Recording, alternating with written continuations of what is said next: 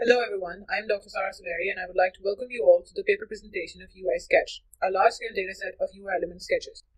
UI Sketch dataset is the first large-scale dataset of 17,979 hand-drawn sketches of 21 UI element categories collected from 967 participants, including UI UX designers, front-end developers, HCI and CS grad students from 10 different countries.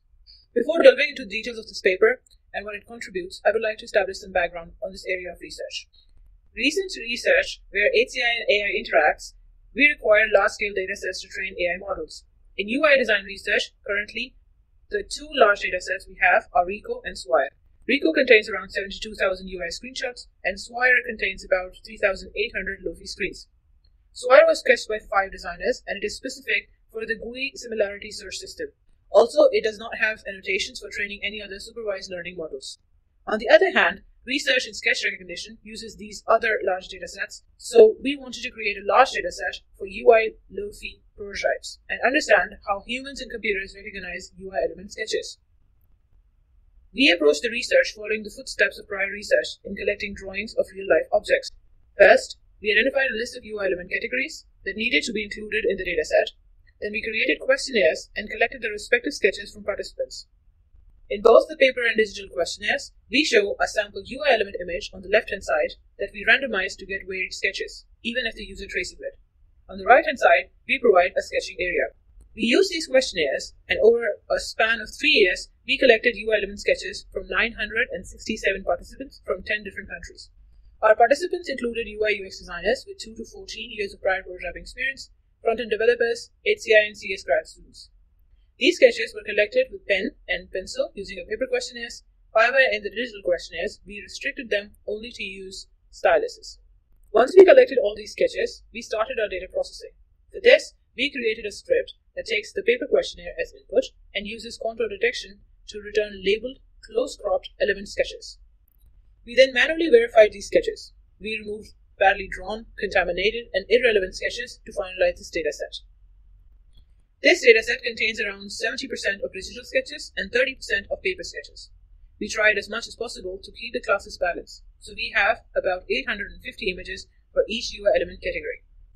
With this dataset, we first wanted to analyze the drawing conventions and the differences between the sketches created by experienced designers and novices. The key difference was in the level of details added to the sketch. Experienced designers and developers tend to keep the sketches minimal, whereas novice designers such as HCI and CS grad students added more detail to each sketch. To set a baseline, we conducted another study with 76 UI UX designers where we showed them UI element sketches and asked them to identify their categories. Our results show that designers can identify UI element sketches with 96% accuracy. To understand how they identify the UI elements, we looked at the UI elements that they mostly confused. We observed that human recognition errors are usually caused due to the confusion between semantically similar UI element categories. Moving on, we trained 26 different image and sketch classification neural networks and identified that current state-of-the-art neural networks could identify UI element sketches with around 80 to 90% accuracy. The best performing model was ResNet 152 with 92% accuracy. We further looked at how they identify these UI elements and found that computational recognition errors are solely caused due to the confusion between the structural similarity of UI element categories.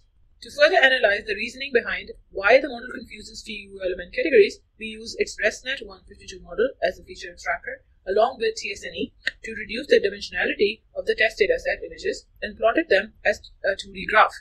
This graph clearly shows that the computational classification model clusters the image based on the structural similarities, unlike humans. This dataset can be used for a lot of potential applications. Recently, a number of research projects attempted to automate transformation of Lofi sketches to code. As this dataset contains varied sketches, we can generate synthetic Lofi prototypes using the dataset and train such models. Another application would be to retrieve inspirational UI designs by sketching. This dataset could help train these AI models as well.